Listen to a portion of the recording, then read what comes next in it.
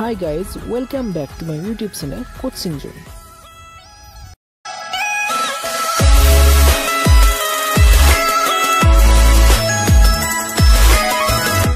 বন্ধুসকল আজি আমি আপোনালোকৰ ওচৰলৈ এটি মেথছৰ ভিডিঅ' আগবঢ়াই লৈ আহিছোঁ আৰু আজি আমি এই ভিডিঅ'টোত ডিছকাছ কৰিম ক্লাছ এইট মেথছ টেক্সটবুকৰ টুৱেল্ভ পইণ্ট টু অনুশীলনীৰ অংক কেইটামান।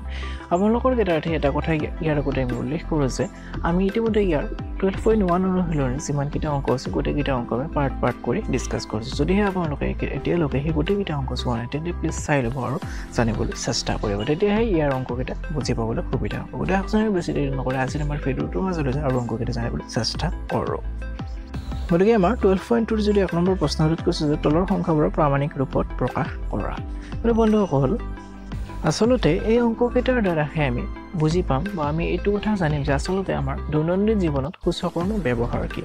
আপোনালোকক মই পূৰ্বে এটা কথা ক'লে যে সূচকৰ ব্যৱহাৰ হ'ল আমি বহু ডাঙৰ এটা সংখ্যা বা বহু সৰু এটা সংখ্যা আমি সূচকৰ জৰিয়তে অতি সহজতে প্ৰকাশ কৰিব পাৰোঁ। আৰু সেইটো আমি প্ৰামাণিক ৰূপত লিখি প্ৰকাশ কৰিব পাৰোঁ। সেয়েহে আমি এইকেইটা অংক ইয়াত কৰিম।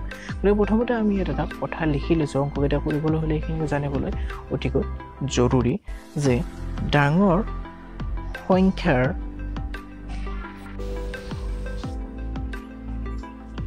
প্ৰামাণিক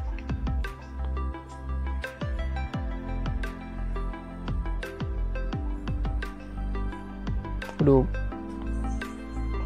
হ'ব। অৰ্থাৎ ডাঙৰ সংখ্যাৰ প্ৰামাণিক ৰূপ হ'ব।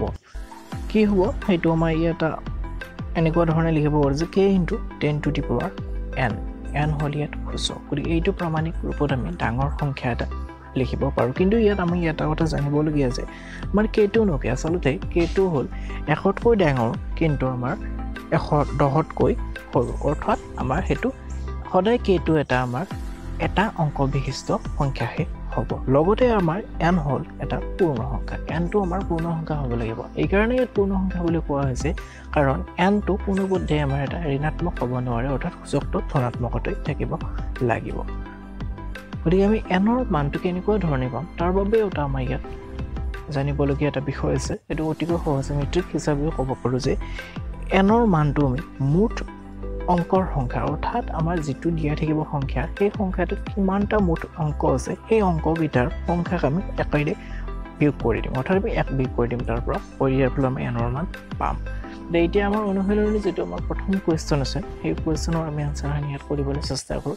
এইখিনি কথাৰ দ্বাৰা গতিকে আমাৰ প্ৰথমতে এইটো দিয়া হৈছিল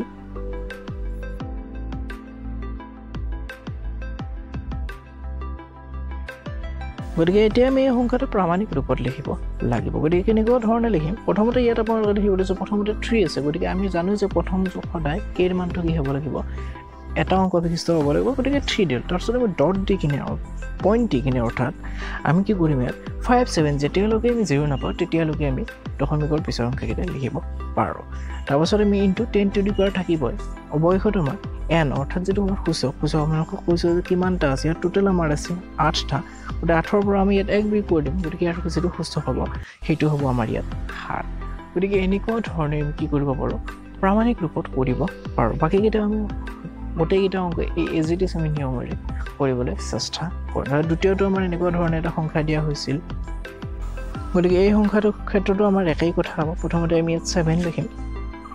ছেভেন লিখাৰ পিছত এতিয়া আমাৰ বাকী আমাৰ তাৰ পিছফালে দশমিকৰ পিছফালে আমি যেতিয়ালৈকে শূন্য নাপাওঁ তেতিয়ালৈকে আমি অংককেইটা লিখিব পাৰোঁ। গতিকে আমি থ্ৰী লৈ লিখিছোঁ জিৰ' ফাইভ জিৰ' থ্ৰী তাৰপিছত আমাৰ into ten to the power এতিয়া আমি ইয়াত গণিব লাগিব যে কিমানটা আমাৰ আছে মুঠ অংক সংখ্যাত এটা দুটা তিনিটা চাৰিটা পাঁচ ছয় সাত আঠ ন। গতিকে ইয়াত নটা মুঠ আমাৰ অংক আছে। এই নটা অংকৰ পৰা আমি এক বিয়োগ কৰি দিলে আঠ পাম। গতিকে সূচকটো হ'ব আমাৰ ইয়াৰ এইট নেক্সট আমাৰ বাকীকেইটা আমি ঠিক তেনেকুৱা ধৰণে কৰিম। ইয়াত আপোনালোকে এটা জানিবলগীয়া বিষয় সেই কথাটো হ'ল যে আমাৰ যেতিয়া দশমিকটো আমি যেতিয়া আমাৰ ৰাইট ছাইডে আমি বঢ়াই লৈ যাম তেতিয়া আমাৰ সূচকৰ ক্ষেত্ৰত চিনডাল বিয়োগ হ'ব। কিন্তু যদি আমি লেফ্ট ছাইডে বঢ়াই লৈ যাওঁ তেন্তে আমাৰ প্লাছ হ'ব। সেয়েহে আমাৰ ইয়াত যিটো সূচক আছে সেইটো আমাৰ পজিটিভ আছে। গতিকে থাৰ্ডটো আপোনালোকে দেখিবলৈ পাইছে যে প্ৰথমতে আমাৰ কেৰ মানটো ইয়াত এটা আমাৰ এটা অংক বিশিষ্ট আছে। তাৰপিছত আমি ইয়াত ইনটু ছেভেন এইট আমি লিখা হৈছোঁ। ইনটু টেন টু ডিপাই ইয়াত আমাৰ টোটেল কিমানটা আছিল দশমিকৰ আগফালে পাঁচটা আছিল গতিকে তাৰ পৰা এক বিয়োগ কৰি দিলোঁ চাৰি পালোঁ গতিকে দ্বিতীয়টোৰ ক্ষেত্ৰত আমাৰ এনৰ মান অৰ্থাৎ সূচক হ'ল আমাৰ ফ'ৰ আৰু যিটো আমাৰ পজিটিভ আছে কিয় আমাৰ যে দশমিকটো আমি বাওঁফালে আগবঢ়াই লৈ গৈছিলোঁ তাৰপিছত আমাৰ পাঁচ নম্বৰটো এনেকুৱা ধৰণে দিছে এইটোত আপোনালোকে দেখিবলৈ পাইছে দশমিক দিছে এটা আমাৰ সংখ্যা দিছে তাৰপিছত পুনৰ আমাৰ ইনটো আমাৰ ten to the power six কৰিছে। গতিকে এইটো আমি কেনেকুৱা ধৰণে কৰিম? যে প্ৰথমতে আমাৰ ইয়াত এটা অংক বিশিষ্ট অৰ্থাৎ কেৰ আমাৰ ফাইভ থাকিব তাৰপিছত আমি ইয়াত বাকীখিনি লিখিব পাৰোঁ দশমিকৰ পিছফালে কি আছে থ্ৰী ছিক্স টু এইট লিখিব পাৰোঁ into ten to the power আমি ইয়াত কিমান লিখিম? যে দশমিকৰ আমাৰ টোটেল আগত সংখ্যা আছিল চাৰিটা গতিকে চাৰিৰ পৰা আমি কি কৰিম ইয়াত? এক বিয়োগ দিম। দিয়াৰ পাছত আমাৰ ইয়াত তিনি হ'ব আৰু আমাৰ ten to the power six এতিয়া আমি আমাৰ সূচকৰ বিধিমতে আমি জানো যে যদিহে ভূমি একে থাকে তেন্তে তাৰ সূচককেইটা যোগ হ'ব গতিকে আমাৰ এইখিনি একে থাকিব five point three six two eight into ten to the power এতিয়া আমাৰ ওপৰত যি দুটা সূচক আছে এই দুটা যোগ হৈ যাব। কাৰণ আপোনালোকে জানে ভূমি একে থাকিলে সূচককেইটা যোগ হৈ যায়। গতিকে ইয়াৰ পিছত আমাৰ আল্টিমেটলি আমি যিটো এনচাৰ পাম সেইটো পাম five point three six two eight into ten to the power nine আপোনালোকক এই এই ক্ষেত্ৰত আৰু এটা কথা ক'ব বিচাৰোঁ যে সদায় দশমিকৰ পিছৰ যিবোৰ থাকে সেইবোৰ আমি অংকবোৰহে এটা এটাকৈ গণনা কৰোঁ। আমি তাক এটা সংখ্যা হিচাপে কেতিয়াও গণনা নকৰোঁ। সেইকাৰণে আপোনালোকে অলপ আগতে মই যেতিয়া মাতি দিছিলোঁ তেতিয়া দেখিছিল যে মই কৈছিলোঁ five point three six two eight next অংকটোৰ মাজত লৈ এইটো আমাক এনেকুৱা ধৰণে দিছে। এইটো আমাৰ চাৰি নম্বৰটোৰ দৰে একেই হয়। গতিকে প্ৰথমতে আমাৰ ইয়াত ফ'ৰ লিখিব লাগিব কাৰণ আমাৰ কেইটামানটো আমাৰ এটা অংক বিশিষ্ট হ'ব লাগিব। পইণ্ট জিৰ' জিৰ' থ্ৰী আমি লিখিছোঁ কাৰণ আমাৰ দশমিকৰ পিছত শূন্য থাকিলেও কিন্তু সেই শূন্যকেইটাৰ পিছত আকৌ এটা অংক আছিল। গতিকে তাৰপিছত আমি ইনটো কৰিম ইয়াত। ইনটো কৰি কিনে আমি টেন টু দি পাৱাৰ আমাৰ কেই দশমিকৰ লগত টোটেল চাৰিটা অংক আছিল। তাৰ পৰা আমি এটা বিয়োগ কৰিম। অৰ্থাৎ আমাৰ ইয়াত যদি আনৰ মান সেইটো থ্ৰী পালোঁ আৰু ইনটো আমাৰ ten to the power five আছে। এতিয়া আমি বাকীখিনি একে লিখিম। Four point zero' zero' three two into ten to the power three plus five হ'ব কাৰণ আমাৰ ইয়াত দুটাৰ ক্ষেত্ৰত ভূমিটো একে আছে আৰু পূৰণ চিন্তা কৰিব গতিকে আল্টিমেটলি আমি এনচাৰটো বোলো four point zero' zero' three two into ten to the power eight গতিকে এইকেইটাই আছিল আমাৰ এক নম্বৰৰ অংক। আপোনালোকে অতি সহজতে বুজি পাৰে বুলি মই আশা ৰাখিছোঁ। ইয়াৰ পিছত মই দুই নম্বৰ অংককেইটা মাজলৈ গৈছোঁ। ইয়াতো কৈছে যে তলৰ সংখ্যাবোৰক প্ৰামাণিক ৰূপত প্ৰকাশ কৰা। আপোনালোকক ইতিমধ্যে মই উল্লেখ কৰাৰ দৰে যে আমাৰ সূচকৰ মেইন আমাৰ কাম সেইটো হৈছে ই কি কৰিব পাৰে বহুত ডাঙৰ সংখ্যা এটা অতি সংক্ষিপ্ততে লিখিব পাৰে আৰু বহুত সৰু সংখ্যা এটাও আমাক ঢুকি পোৱাকৈ লিখিব পাৰে। গতিকে এতিয়া আমি আৰু ইয়াত যিবোৰ সংখ্যা দিছোঁ এইবোৰ অতিকৈ ন্যূনতম সংখ্যা। গতিকে এইবোৰো আমি এটা সূচকীয় ৰূপত কেনেকুৱা ধৰণে ব্যৱহাৰ কৰি আমি সূচক ব্যৱহাৰ কৰি প্ৰামাণিক ৰূপত লিখিব পাৰোঁ। সেইটো আমি ইয়াত চাওঁ। গতিকে ইয়াত আমি প্ৰথমতে নিয়ম লিখি লৈছোঁ। প্ৰথমতে মই লিখি লৈছোঁ ইয়াত।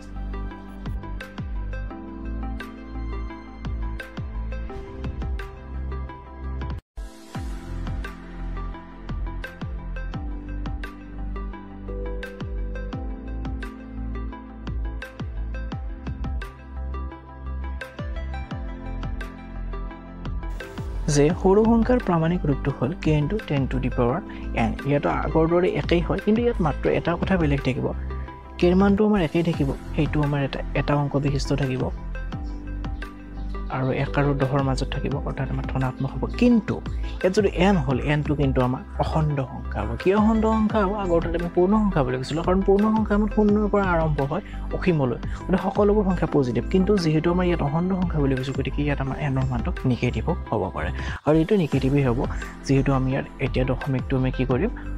সোঁফাললৈ আগবঢ়াই লৈ যাম। আপোনালোকক ইতিমধ্যে উল্লেখ কৰিছোঁ যে সোঁফাললৈ দশমিকটো নিলে সূচকৰ মানটো আমাৰ নিগেটিভ হয়। গতিকে আমাৰ প্ৰথম সংখ্যাটো ইয়াত এনেকুৱা ধৰণে দিছে প্ৰথমটোৰ বাবে। সেইটো প্ৰথমতে ইয়াত লিখি লৈছোঁ আৰু তাৰপাছত যদিহে আমি এতিয়া এটা সমাধান কৰোঁ তেন্তে প্ৰথমতে আমি কেৰ মান বিচাৰ কৰিব লাগিব। গতিকে আমি শূন্য ল'ব নোৱাৰোঁ। গতিকে আমি আগবাঢ়ি গৈ গৈ গৈ গৈ গৈ গৈ থ্ৰী পাম। গতিকে আমি ইয়াত থ্ৰীত আমাৰ পিছফালে দশমিকটোতো দিয়াৰ পিছত আমাৰ এইট টুটো আমাৰ থাকি যাব। আৰু আমি কেইটাৰ লগত দশমিকটো লৈছোঁ সেইটো আমি কৰিম। চাওক এক দুই তিনি চাৰি। পাঁচ ছয় সাত আঠ। গতিকে আমি টোটেল আঠটাৰ পিছফালে দশমিকটো লৈ গৈছোঁ।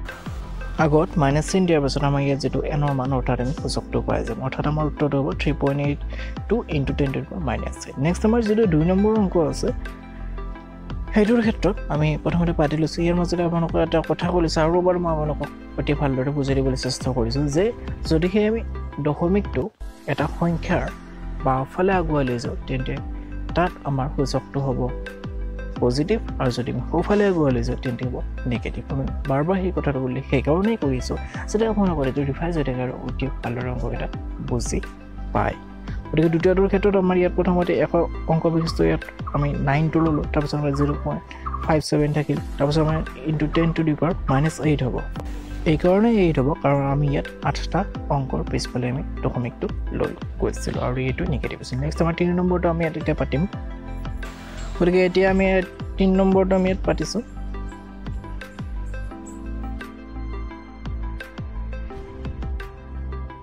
গতিকে তিনি নম্বৰটোৰ ক্ষেত্ৰতো আমি প্ৰথমতে কেৰ মানটো আমি এটা এটা অংকৰ বিশিষ্ট আমি হ'ম গতিকে প্ৰথমতে আমাৰ ইয়াত ছেভেনটো কৈছোঁ গতিকে ছেভেনে হ'ব। তাৰপিছত আমি পইণ্ট দি কিনে ফাইভ ছিক্স লিখিব লাগিব। ইনটু টেন টু ডিভাইড ইয়াত কেইটাৰ পাছত আমি লৈ গৈছোঁ দশমিকটো। গতিকে সেইটো নিশ্চয় আমি ছয়টাৰ পিছত গতিকে আমি মাইনাছ ছিক্স হ'ব আমাৰ এনৰ মান।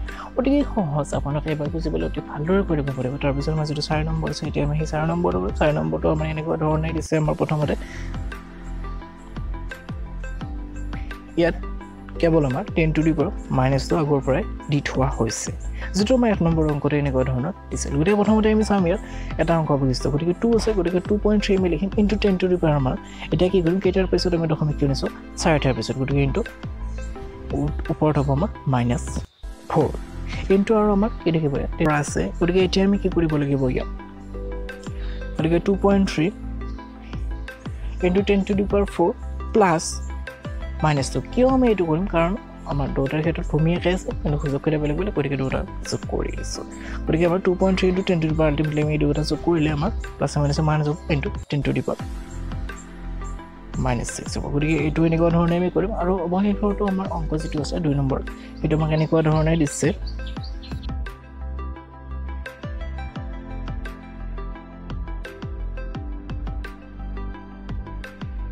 এইটোৰ ক্ষেত্ৰতো আমাৰ আগৰে পৰা ইয়াত ten to power minus three দিয়া হৈছিল। গতিকে ইয়াত আমাৰ তিনিটো আমাৰ প্ৰথমতে আছে আমাৰ। গতিকে three point one four into ten to power আমি কেইটাৰ পিছত নিছোঁ দশমিকটো চাৰিটাৰ পিছত নিছোঁ গতিকে আমাৰ কি হ'ব ইয়াত? মাইনাছ ফ'ৰ ইণ্টু আৰু আমাৰ ten to the power minus three আমি ইয়াত লিখিব লাগিব। আৰু যিহেতু আমাৰ এতিয়া দুটাৰে ক্ষেত্ৰত ভূমিটো একেই হৈছে গতিকে আমি সূচকেৰে যোগ কৰি ল'ম প্ৰথমতে আমি ইয়াত লিখি দিছোঁ three point one four into ten to the power minus four plus minus three গতিকে এইকেইটা আমি যোগ কৰাৰ পিছত আমি আল্টিমেটলি এনচাৰটো পাম three point one four into ten to power minus seven যিহেতু আমাৰ এইটো প্লাছ মাইনাছ মাইনাছ হ'ব গতিকে এইকেইটাই আছিল এক নম্বৰৰ দুই নম্বৰ অংক আশা ৰাখিছোঁ বন্ধুসকল সকলোৱে আপোনালোকে অতি ভালদৰে অংককেইটা বুজি পাইছে যদি বুজি পাইছে তেন্তে প্লিজ ভিডিঅ'টো লাইক কৰি দিবলৈ নাপাহৰিব আৰু লগৰীয়া আপুনি পাবলৈ প্লিজ ভিডিঅ'টো শ্বেয়াৰ কৰি দিবলৈ নাপাহৰিব আৰু যদি সেই তেওঁলোকে চেনেলটো ছাবস্ক্ৰাইব কৰা নাই তেন্তে প্লিজ চেনেলটো ছাবস্ক্ৰাইব কৰি দিব কাৰণ মই ইতিমধ্যে গম পাইছোঁ যে মাত্ৰ টুৱেণ্টি থ্ৰী পাৰ্চেণ্ট আমাৰ ভিউৱাৰ্ছেহে ছাবস্ক্ৰাইবাৰ হয় বাকী ছেভেণ্টি ছেভেন পাৰ্চেণ্ট ভিউৱাৰ্ছে আমাৰ ছাবস্ক্ৰাইবাৰ নহয়। গতিকে প্লিজ চেনেলটো আপোনালোকে ছাবস্ক্ৰাইব কৰি দিব। কাৰণ ইয়াৰ পিছত যিকেইটা অংক আছে সেইকেইটা অতি সোনকালে আপোনালোকৰ ওচৰলৈ লৈ আহিছোঁ। গতিকে আপোনাক ছাবস্ক্ৰাইব কৰিলেহে ন'টিফিকেশ্যন পাই যাব। গতিকে আশা ৰাখিছোঁ সকলোৱে ঘৰতে আছে সেইটো আছে। ভিডিঅ'টো চোৱাৰ বহুত বহুত ধন্যবাদ। Stay home stay safe